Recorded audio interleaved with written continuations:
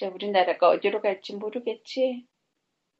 어디로 둘지 매일같이가 모르겠어. 이제 한국 다시 못 가는 거 아니냐고 그러더라고.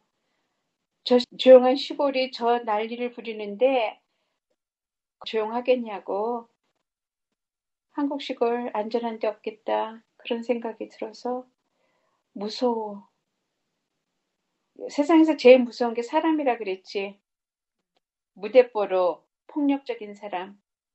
그런 사람이 최고로 무섭잖아. 언제 어디서 그냥 갑자기 아무런 관계도 없이 인연도 없는데 그저 찔러대는 이런 사람들이 생기는 이런 나라. 우리나라는 그래도 총이 없어서 다행이라 그랬더니 너네는 법이 없잖아. 그러잖아. 그래서 내가 확 놀랬지. 총보다 더 중요한 법이 없는 나라가 돼버렸으니 이거 어쩌면 좋아. 법이 없는 나라는 법만 가지고 어떻게 하겠다라고 하는데 법은 내세웠는데 진짜 법은 없는 나라가 되고 있어. 무법천지가. 윤리 도덕이 없어진 지는 옛날이고. 정말 사람들 너무 무섭더라고. 시위장에 있는 사람들 얼굴 모양이 다르더라고. 얼굴 모양이. 화장도 그렇게 했더라고. 그 속에 있는 그 악마들이 대상을 만난 거지. 그래서 대놓고 한다 그랬잖아. 이제 나와서 한다고. 숨어서 안 해. 지금 이러고 있다. 우리가 갔던 그 마을 보여줬거든. 보더니 문 대통령은 저기 있지 말고 그러면 좀 잠시 다른 나라에 갔다가 오면 되지 않냐고 그래서 그걸 저 사람들이 바라는 거라고.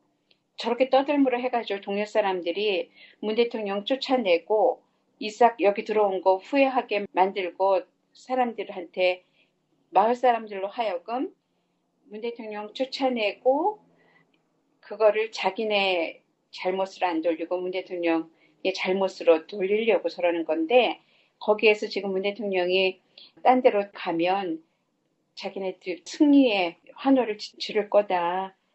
그러면 그거는 또 문 대통령으로서는 문 대통령의 책임을 다하는 거냐 아니지 않은가. 자기 때문에 벌어진 일을 내팽개치고 도망간 건 또 좀 모양새가 안 좋다 그랬더니 안타까워 하더라고. 이제 또 이런저런 이야기 하다가 갑자기 먹먹해져 있더라고. 그 한심한 노릇에 속숨을 치길 때 우리가 저 사람들이 너무너무 안타깝고 불쌍해서 그냥 눈물이 나는 거야. 그렇게 빨리 팬데믹 끝나서 한국 좀 가봐야지 하고 있는데 정이 딱 떨어지는 거잖아. 한국 사람에 대해서 얼굴을 마주치기 싫은 거지 이제는 정이 떡 떨어졌다는 거야.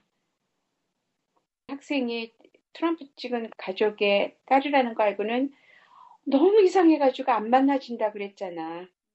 그 미국 애가 이쁜데도 그 부모가 너무 멀쩡한 사람들이 지금도 트럼프를 지지한대. 그리고 팬데믹인데 팬데믹 다 저거 가짜래.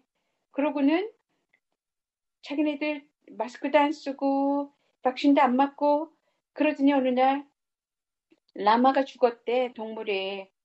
그 자기네들이 팬데믹 옮겨가지고 죽인 거지. 자기네들 다 걸렸대 그 코비드. 그런데 왜 동물이 어느 날 갑자기 죽었는지 모르겠다고 나한테 이메일이 왔는데 내가 답, 답도 하고 싶지 않더라고.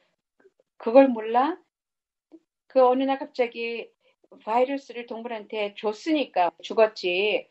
그 자기네들만 그냥 살아남았으면 되는 거 아니잖아.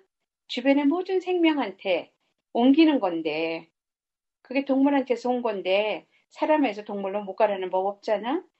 강아지, 고양이도 다 걸린다는데, 멀쩡하던 그 이쁜 나무가 죽었다는 소리를 듣고는 참 무책임한 사람들이다. 그러고는 안 보고 싶더라니까. 편지도 오고 그림도 보내는데도 내가 여태까지 그런 적이 없는데 이런 사람이 이 시대에 있다니 내 주변에 있다니 아직도 트럼프가 저런데 저런 사람 아직도 지지하는 사람이 있다는 게 바로 내 옆에 내 학생 부모가 그렇다는 게 너무 어이가 없거든. 그런데 시골 갔어. 시골에 가가지고 집 근처에 시골 사람을 만났는데 그들이 세상 일을 모르란다고 문 대통령 욕을 하고 윤석열을 지지한다 그러면 내가 거기에 밥맛이 있겠느냐고. 겁나서 나가지도 못하겠잖아. 저 사람들이 무슨 짓을 할지 모르잖아, 뒤에서. 지금 이런 판국이라고.